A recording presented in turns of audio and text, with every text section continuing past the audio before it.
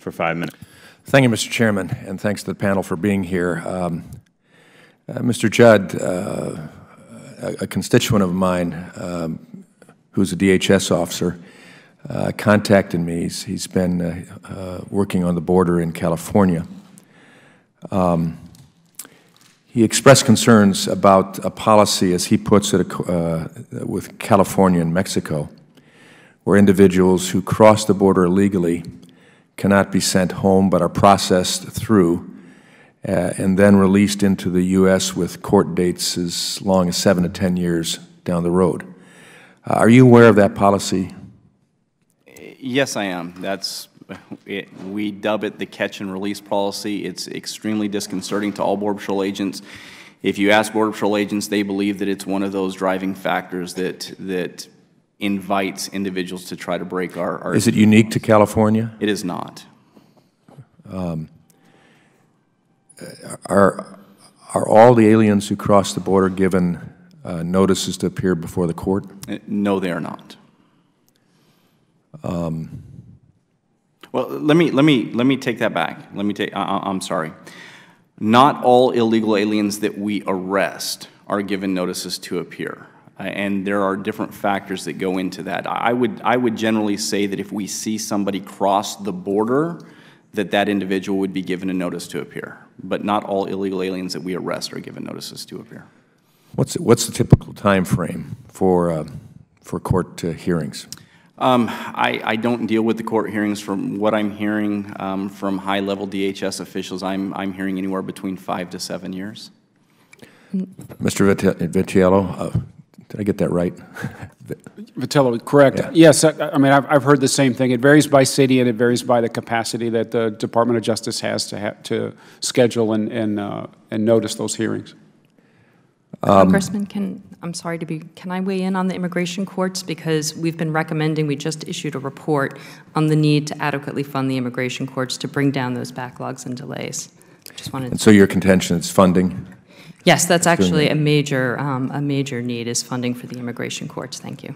Let me, let me ask, uh, Mr. Judd, are there any, any efforts to uh, keep track of the whereabouts of the individuals that are awaiting these lengthy time frame court hearings? Uh, not that I'm aware of. All they need to do is provide us an address, and it can be an obscure address. For instance, um, in, in the uh, the mid-2000s, we were arresting a large number of Brazilians in the Tucson sector, and all Brazilians were giving us, uh, a large number of these Brazilians were giving us the exact same address um, over and over. Large buildings, huh? Yeah, exactly. And, and we were releasing those individuals based upon the addresses that they were giving us.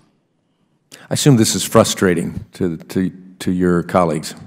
It's extremely frustrating. But what gets even more frustrating is when we have a CBP commissioner that tells us if we don't like it, we can go find another job. That's even more frustrating.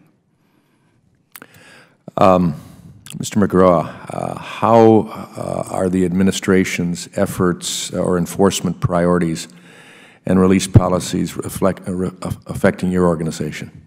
Well, clearly uh, we're concerned, the Governor's expressed his concern about the potential Syrian refugees coming to Texas. There's no adequate way to properly vet them, and that's a concern from a national security standpoint, and he's made it very clear.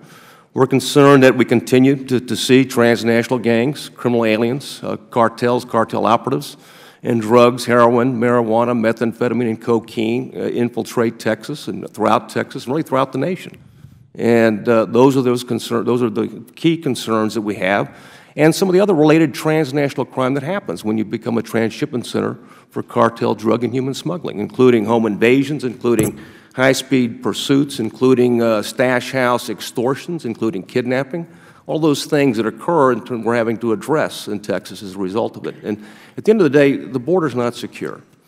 I, I, would, I would assume you have ideas on how to secure that and even policies that could be implemented rather rapidly. If, if you were allowed as a, as a State official responsible for securing um, your people's safety and borders, could you do it? I could tell you that this chief right next to me could do it if provided the appropriate resources. If Border Patrol is given the sufficient Border Patrol agents, the detection technology, and the aviation assets, they could do it today. There's no doubt in my mind uh, they can do it. So this isn't a problem, but for the fact you're not allowed to do what you're able to do, and I would assume Mr. Vitiello uh, as well. Well, the problem is it hadn't been properly resourced over the decades. The bottom line is border security has not been a priority, not been a, a, a concern as it relates to multiple administrations. And in today's threat environment, you can't afford not to con be concerned about border security. It impacts Texas from a public safety standpoint. It impacts us from a national security standpoint, a homeland security standpoint, and not just Texas, the rest of the nation. Gentleman's time Thank has you. expired. Uh, We're trying to